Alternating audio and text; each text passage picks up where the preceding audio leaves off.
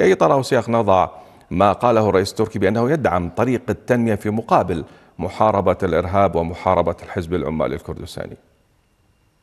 واضح جدا أن الحديث بهذا التوجه يعني أن هنالك علاقة جديدة ستكون في يعني الفترة المقبلة باعتبار أن تركيا تحتاج هذا المشروع باعتبار أن هذا المشروع استراتيجي مشروع مهم لتركيا وللعراق. ولذلك كان الحديث عن هذا الموضوع آه، باستفاضة كبيرة مع السيد نجرفان برزاني رئيس إقليم كردستان وكذلك بحثت قضايا أخرى سواء قضايا تنموية وقضايا عسكرية والأمن الذي يحتاجه إقليم كردستان.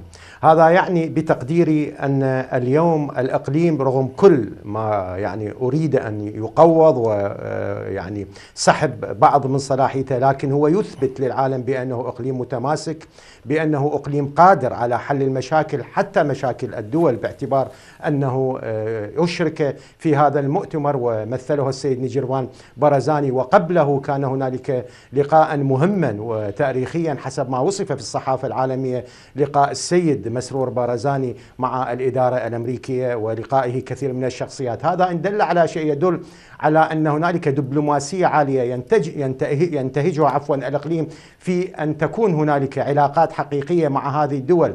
ولكن أهم من هذا نحتاج إلى وحدة قرار نحتاج إلى حل الخلافات التي كانت عالقة ما بين بغداد وأربيل.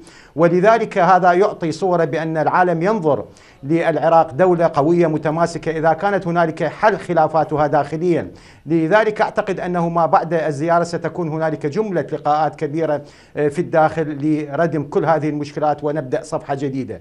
قضية مهمة يجب أن نفهمها بأنه عنوان هذا المؤتمر هو الدبلوماسية لحل الخلافات وتذويب المشكلات لأن السيد أردوغان يعتقد بأنه بالدبلوماسية وبالحوارات يمكن أن ننتهي من هذه الأزمات ولذلك كانت هنالك لقاءات من أكثر من 100 دولة رؤساء ووزراء لحل الإشكالات وخصوصا خصوصا القضايا المصيرية التي تهم المنطقة نعم. لكن أبرز ما يهمنا كعراقيين قضية آه، يعني قضية آه، مشروع التنمية باعتبار هذا المشروع هو مشروع الأجيال. وأعتقد أنه يسير بخطى منظمة وخطى فعالة بمشاركه بمشاركة الكل وبيعني تعاضد كل القيادات التي يعني لم تكن هنالك آه، معارضة لهذا أو معارضة لهذا التوجه بقضية مشروع التنمية باعتبار أنه مشروع سي يعني يدر بالمليارات على العراقيين حينما يشغل حين بعد أربع أو خمس سنوات من الآن وأعتقد أن الخطوات مهمة